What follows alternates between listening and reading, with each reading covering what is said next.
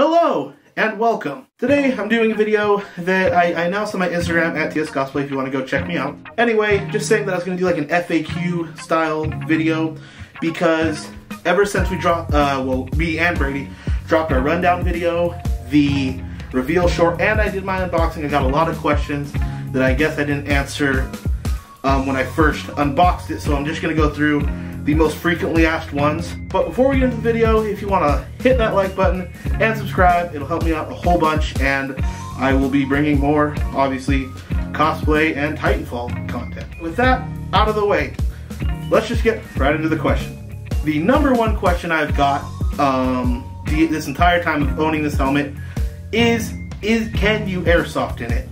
I would not recommend airsofting in this one, because just feeling the plastic, uh, it doesn't feel like it's super durable. Um, when it comes to airsoft, just durability in general, it's fine, it's good, it's amazing. Um, but with airsoft, because I have airsoft before, obviously, but yeah, I wouldn't recommend it. Second one is how do I turn on my lights? Well, these the side ones I think are already on, but there's just little um, little switches under the chins, uh, under the chin, or under the under the chin, under the cheeks, and then I have for the the main visor, I have this uh, little remote, and it actually, oh, it's on this side.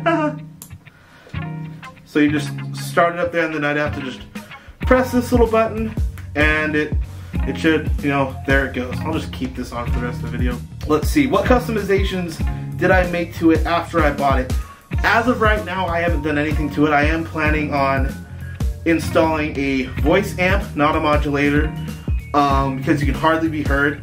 And this kind of goes into the next question, is does the visor fog up? Yes, mine does. I don't think Brady's does. Mine has a lot more padding just because I have a lot more, I have more electrical stuff going on inside. Um, I'll probably throw up pictures of the inside of the helmet. Um, if I don't, don't be mad at me. I've kind of gotten lazy with editing recently. But anyway, uh, there's a lot of padding on the inside. My batteries are actually right here on the mouth of it. And I would rather those be moved somewhere else because the padding on the mouth pushes right up to my face. So it's kind of like this when I'm talking. So you can't really hear me. And it does fog up. And I will say it's probably just because the padding in there. Um, this question is on, I believe, the reveal, or no, I think it's on the rundown. Um, but I had two people actually hit me up, one on Instagram and one this question on YouTube. Um, and it says, I hope you guys get the Master Lehman Store Titanfall Airsoft Mask so you guys can cosplay as you airsoft safely. So, and then someone did say, have I heard of um, Master Leman Store? I've heard of Master Lima Store. I don't have any plans on buying a helmet simply for the fact that we're not airsofting right now. Um, but if the shop does want to send us a, uh, um, a couple helmets to review, I'm more than happy with that. Hit me up. I'll, I'll review your stuff. Um, but no, I don't have one of those helmets. But yes, I've heard of that shop. Another one is do any of you know where to get a replacement visor?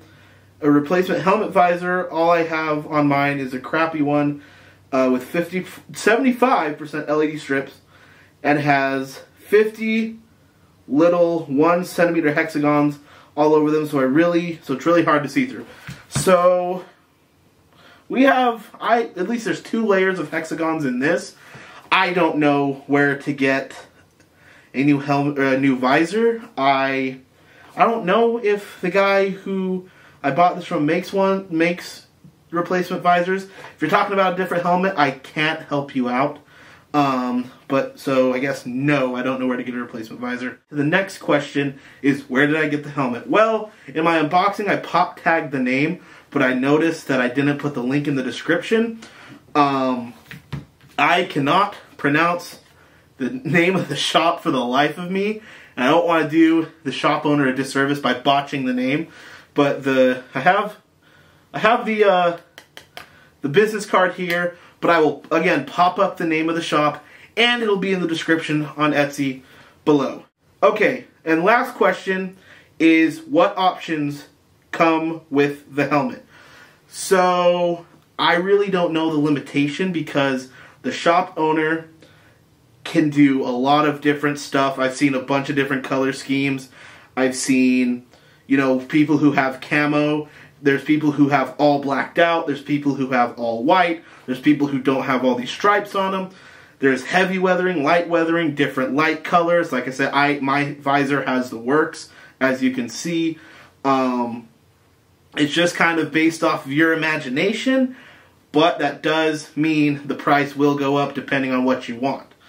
Um, like with mine, obviously I have mine OD green back here, uh, just for the simple fact that it goes with my costume better. Uh, if possible and within my budget, I would get like two other helmets to have two different looks. But eh, it's not that big of a deal. But you know, it's it's just depending on your imagination. Ask him. He he answers any questions.